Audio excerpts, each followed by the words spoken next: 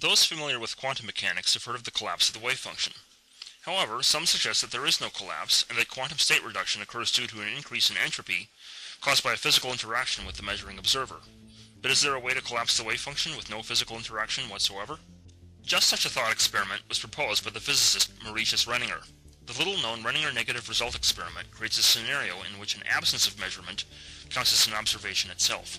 To conceive of the experiment, consider a pair of detectors tipped as hemispherical shells which have been centered about a radioactive atom. Upon decay, the atom will release an alpha particle which will be detected by either one of the shells. However, if after a certain time the alpha particle is not detected by the right shell, then its location at the left shell is immediately known.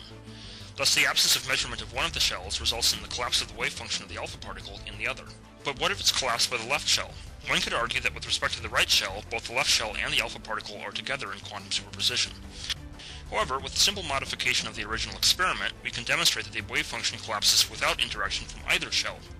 Let us expand the radius of the left shell. The atom is now left to decay and releases an alpha particle in a state of quantum superposition. After a brief time, the particle has passed the radius of the right shell, but has not yet touched the left shell.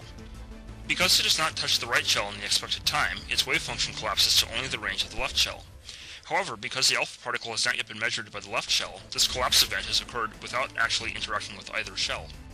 The Renninger negative result experiment belongs to a class of experiments involving interaction-free measurement. Another such thought experiment, the Elitzur-Vaidman bomb tester, can astonishingly determine the properties of an object by not looking at it.